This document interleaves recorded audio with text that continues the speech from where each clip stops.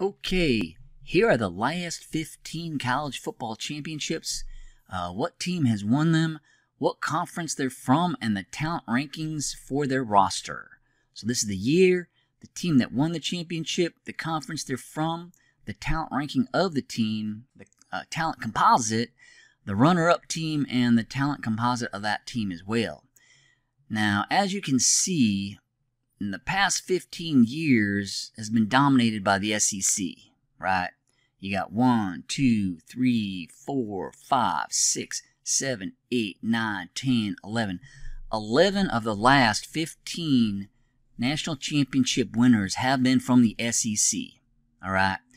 And then you got 1, 2, 3 from the ACC, so 3 out of the last 15 winners have been from the ACC. And then you got one Big Ten team. So in the last 15 years, one Big Ten team has won the national championship, and it was Ohio State, as you can see right here.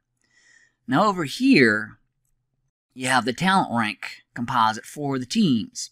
So when Alabama won it last year, they had the number two ranking roster, talent on their roster of all the teams in college football. The year before that was LSU. LSU had the number five ranking. Clemson had the number six, Alabama one, Clemson nine, Alabama one. So this is the talent ranking. So it looks like, if you look at these numbers, having a top 10 talent ranking for your roster is probably a pretty good and or necessary variable to have to win the national championship. At least for the last uh, six years, that has been true. Some people have been saying it does not matter what your team's talent composite is, and coaches are coaching up their team, you know, coaching up the players, and, mm, you know, these numbers kind of state otherwise. Now, as you can see, the SEC has won 73%. SEC winning 11, they've won 73% of the past 15 national championships. The ACC winning 3 has won 20%, and the Big 10 has won 7% of the last 15 championships. So, the SEC is literally 10 times more successful at winning the college football championship than the Big Ten in the last 15 years. 10 times. 10 times, right? So if you're a Michigan fan, it is okay to be optimistic and want your team to win, but to simply declare the SEC's weak and blah blah and Georgia ain't played nobody and Michigan gonna win by two touchdowns. You you don't know anything about football and all this kind of stuff. well, there there really is no basis for that argument. All right, at least provide some reasonable you know reason as to why they're gonna win, why they're gonna buck the trend. Because these are the numbers. These numbers don't lie.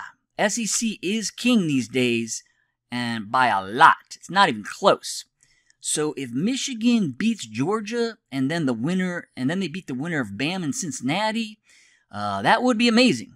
Uh, they are currently a seven and a half point underdog to Georgia, so the experts think Georgia's going to win.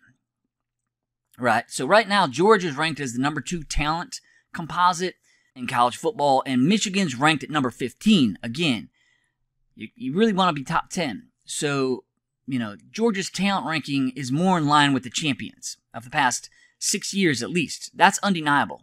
Those are just the facts, right? Now, can Michigan win? Sure. Uh, Georgia got destroyed by Alabama's passing game, so they appear to be vulnerable to the pass. You know, they didn't play a lot of, you know, teams that were good, you know, passing the ball. Georgia kind of exposed that, so Michigan can win the game. Uh, you know, maybe Michigan can run on the Georgia defense. That would definitely be a problem for Georgia.